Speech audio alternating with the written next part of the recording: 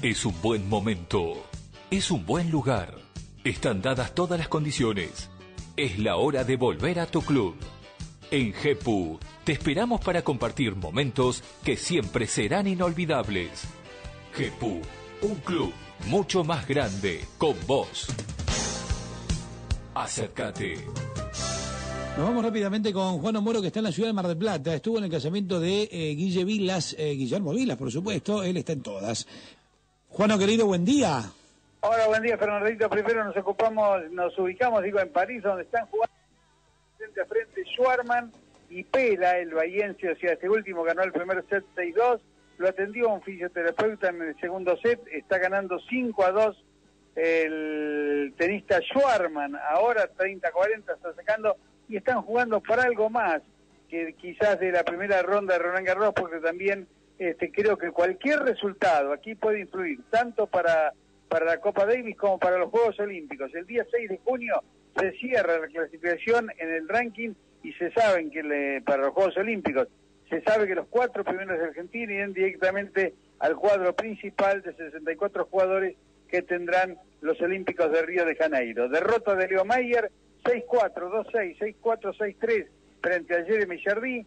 A partir del 4 a 2 que llevaba adelante la Argentina el tercer set, el francés ganó 10 juegos, en tanto que el argentino ganó 3.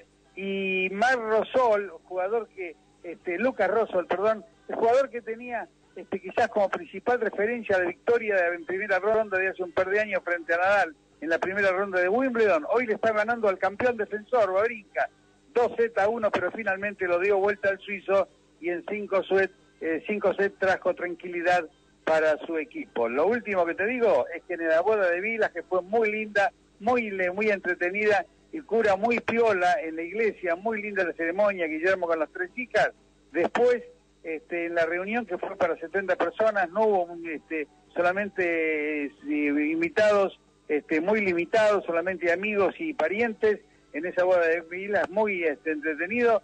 Este, y Gabriela Sabatini, con quien estuvimos casi todo el tiempo charlando, me dijo te escucho con, con Mancini a la mañana porque porque como salen a una hora más o menos fija, me dan seguridad. Sé que pongo esa hora en la radio, que escucho esa hora y que escucho los resultados de Tines. Así que nos escucha la número uno en persona, no solamente en tenis, sino personalmente con una tipa fantástica que es Gabriela Sabatini, querido Fernando. Gracias, Juano. Bueno, un abrazo grande. Me imagino lo que habrás vivido el fin de semana, te lo mereces.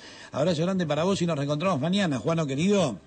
Pero por supuesto, Fernando, hasta mañana. Abrazo grande. ¿Quién lo presentó el profe? Todo San Luis se siente orgulloso de Villa Mercedes, donde está la calle Angosta, el río Quinto, el barrio La Ribera y ahora también el Parque La Pedrera no solo se puso en marcha una ciudad, sino toda una provincia.